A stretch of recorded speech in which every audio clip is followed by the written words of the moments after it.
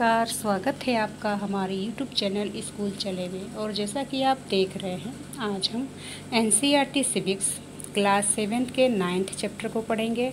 और इस चैप्टर पे आज का हमारा फ़र्स्ट वीडियो है, फ़र्स्ट पार्ट है, जिसका नाम है बाज़ार में एक कमीज। तो ये जो अध्याय है, हमें एक कमीज की कहानी बताएगी। और यह कहानी सबसे पहले आरंभ होती है कपास के उत्पादन से, और कमीज के बिकने पर यह ख़त्म हो जाती है। हम देखेंगे कि बाज़ार की श्रृंखला कपास उगाने वाले को सुपर बाज़ार में कमीज खरीदने वाले से कैसे जोड़ देती है। ये जो श्रृंखला है, ये जो चेन है, इसमें हर कड़ी के साथ खरीदना और बेचना जुड़ा हुआ है। और क्या इससे सबको बराबर लाभ होता है, या कुछ को दूसरे की अपेक्षा अधिक लाभ होता है? यह भी हम इसमें पता लगाएँगे, कोशिश करेंगे जानने की। तो सबसे पहले हम कुरनूल के बारे में जानेंगे। आप जानते हैं कुरनूल जो है आंध्र प्रदेश में है। तो कुरनूल में कपास उगाने वाली एक किसान और इस किसान का नाम है स्वप्ना, जो कि एक छोटी किसान है।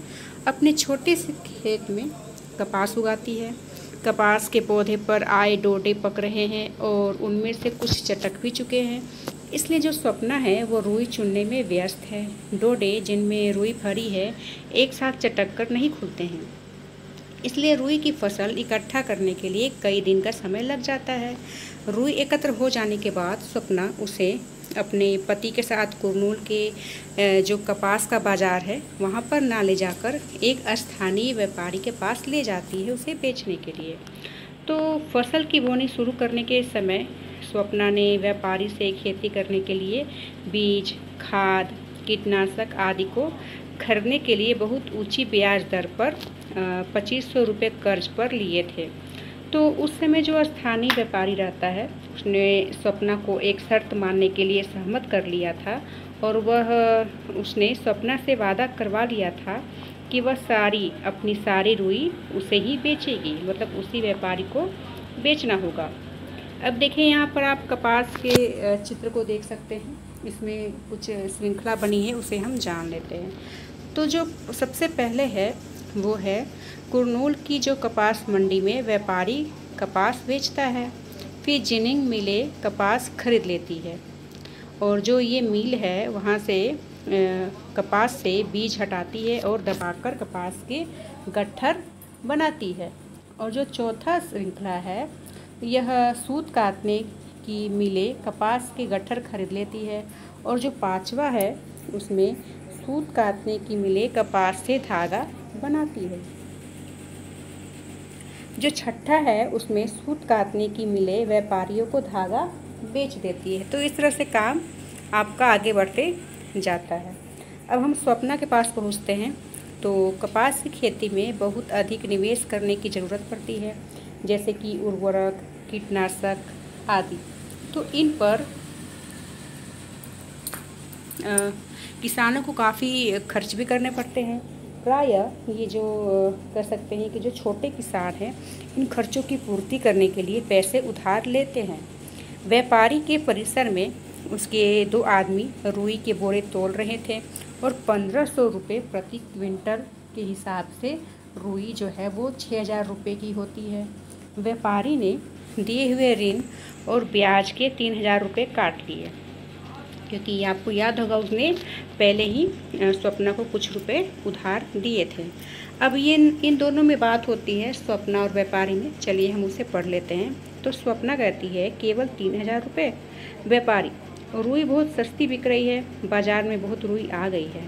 स्वप्ना इस रुई को उगाने में मैंने चार महीने तक जीत तोड़ मेहनत की है। आप देखिए, इस बार रुई कितनी बढ़िया और साफ़ है।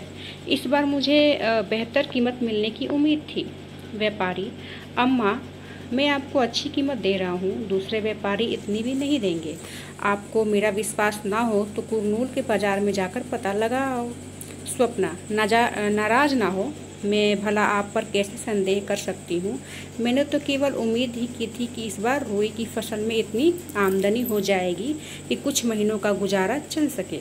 यद्यपि स्वप्ना जानती है कि कपास कम से कम अठारह सौ रुपये प्रति क्विंटल में बिकेगी, लेकिन वह आगे बहस नहीं करती है। तो व्यापारी जो है, वो गाँव का काफ़ी शक्तिशाली आदमी है और किसानों को कर्ज के लिए उस पर निर्भर रहना पड़ता है। ना केवल खेती के लिए, बल्कि अन्य भी बहुत सारी जो आवश्यकता होती है, ज़रूरतें होती है। जैसे कि बीमारी, बच्चों के स्कूल की फ़ीस, इन सभी में। तो फिर वर्ष में ऐसा समय भी आता है जब किसानों को कोई काम नहीं मिलता है।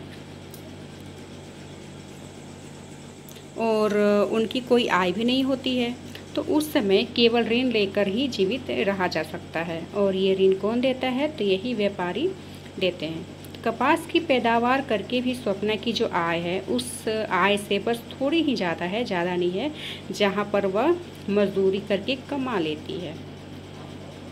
तो हमने करनूल को जाना। अब हम इरोड को जानते हैं। यह तमिलनाडु का है और यहाँ का कपड़ा बाज़ार हमारा सेकेंड पॉइंट है। तो तमिलनाडु में सप्ताह में दो बार लगने वाला जो इरोड का कपड़ा बाज़ार है, संसार के विशाल बाज़ारों में से एक है। इस बाज़ार में कई प्रकार का कपड़ा बेचा जाता है। आसपास के गाँव में बुनकरों के द्वारा बनाया गया कपड़ा भी इस बाज़ार में बिकने के लिए आता है। बाज़ार के पास जो कपड़ा व्यापारियों के कार्यालय भी हैं, जो इस कपड़े को खरीदते हैं। दक्षिण भारत के शहरों के अन्य व्यापारी भी इस बाज़ार में कपड़ा खरीदने आते हैं।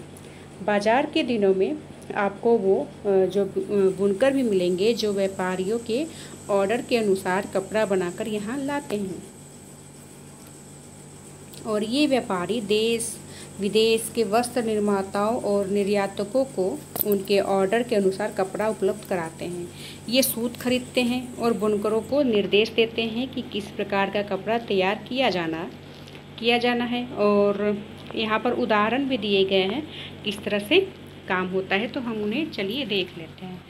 तो यहाँ पर देखिए आप तीन चित्र को देख रहे हैं पिक्चर है, और जो सबसे पहला पिक्चर है, आप देख सकते हैं, यह बाज़ार में एक व्यापारी का दुकान है, और कई सालों से इन व्यापारियों ने देश भर के वस्त्र निर्माताओं से संपर्क स्थापित कर लिया है, जिनसे उन्हें ऑर्डर मिलता है, और वे अन्य लोगों से सूत खरीद लाते हैं। जो दूसरा आप चित्र देख रहे हैं, आप समझ गए हैं, ये बुनकर, बुनने वाला मशीन है।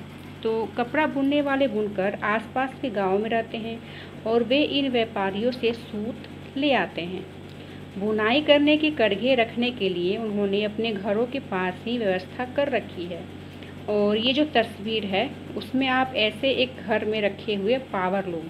पावर लूम क्या होता है कि ये बिजली से चलने वाले करघे हैं हाथ से चल, जो चलने वाले करगे होते थे, वो उनकी अपेक्षा ये जल्दी काम करते हैं।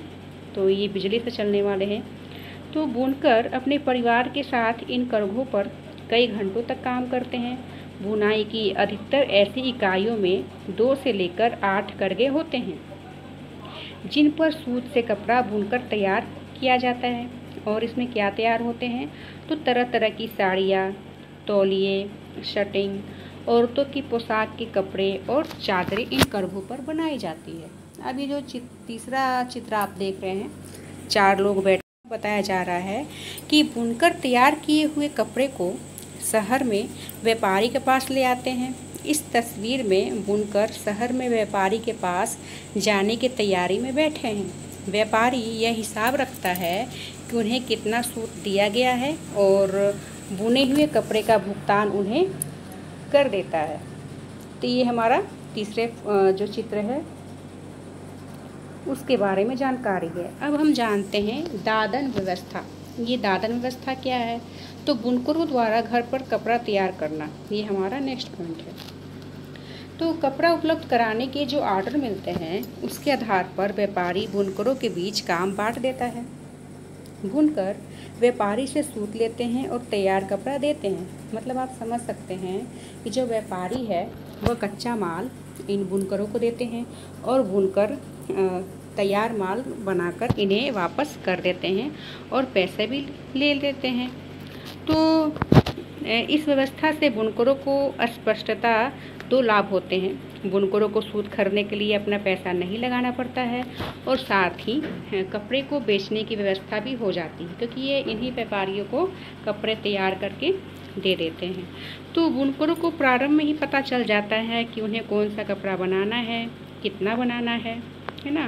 कच्चे माल को प्राप्त करने और तैयार माल की बिक्री के लिए व्यापारियों पर इन्हें निर्भर होने के चलते व्यापारियों का बहुत ही वर्चस्व हो जाता है। वे आर्डर देते हैं, क्या कपड़ा बनाया जाना है, इसके लिए बहुत कम मूल्य वो देते हैं। जो व्यापारी है, इन बुनकरों को काफ़ी कम पैसे देते हैं। बुनकरों के पास यह जानने का भी कोई साधन नहीं है कि वे किसके लिए कपड़ा बना रहे हैं और वह किस कीमत पर बेचा जाएगा। देखिए, यहाँ पर एक हेडलाइन है, मैंने उसे पॉइंट किया है। यहाँ पर क्वेश्चन पूछा जा रहा है कि क्या इसी तरह की जो दादन व्यवस्था है, पापड़, बीड़ी, मसाले बनाने में भी देखने को मिलती है? और अपने इलाके से इस संबंध में जानकारी इकट्ठा कीजिए और इस पर चर्चा कीजिए। तो आप समझ सकते हैं कि बहुत सारी व्यवस्था है जो दादन व्यवस्था पर चलती है और बीड़ी, पापड़, मसाले पर भी ये व्यवस्था काम करती है। देखिए, कपड़ा बाज़ार में व्यापारी यह कपड़ा पहनने के वस्त्र बनाने के कारखाने को बेचते हैं और इस तरह से जो बाज़ार का झुकाव है, वह व्यापारियों के हितों में ही अधिक होता है। बुनकर अपनी सारी जमा पूंजी लगाकर ऊँची ब्याज दर पर ऋण लेते हैं, करघे खरीदते हैं और यहाँ पर एक करघे का जो मूल्य है, वो बीस हज़ार रुपये दिए गए हैं। बीस हज़ार रुपये में एक करघा आप खरीद सकते हैं। इसलिए छोटे बुनकर को भी दो करघे, लगभग मतलब चालीस हज़ार रुपये का निवेश करना पड़ता है। इन करघों पर अकेले काम नहीं किया जा सकता है। कपड़ा बनाने के लिए बुनकर और परिवार के दूसरे व्यस्त सदस्यों को दिन में बारह घंटे तक काम करना पड़ता है और इस पूरे कार्य के द्वारा वे महीने में लगभग पैंतीस सौ, तीन हज़ार पाँच सौ रुपये ही कमा पाते हैं। व्यापारी और बुनकरों के बीच ये जो व्यवस्था है दादन व्यवस्था का एक उदाहरण है, जहाँ व्यापारी कच्चा माल देते हैं और तैयार माल प्राप्त कर लेते हैं। भारत के अनेक क्षेत्रों में कपड़ा, बुनाई के उद्योग में यह व्यवस्था प्रचलित है। हमारा जो नेक्स्ट पॉइंट है, वो है बुनकर सहकारी संस्था। तो आज के लिए इतना ही, और नेक्स्ट वीडियो में हम इसे ही आगे बढ़ाएँगे। तब तक आप देखते रहें हमारा यूट्यूब चैनल स्कूल चले धन्यवाद।